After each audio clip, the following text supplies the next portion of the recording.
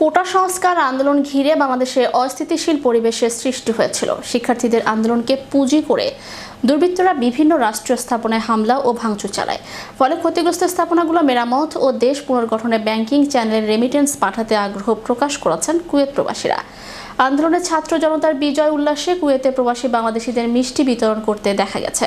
দেশের সংকটকালীন পরিস্থিতি মোকাবেলায় রিজার্ভ বৃদ্ধিতে বিশ্বের বিভিন্ন দেশে প্রবাসীদের বৈধ পথে রেমিটেন্স পাঠাতে অনুরোধ জানান তারা।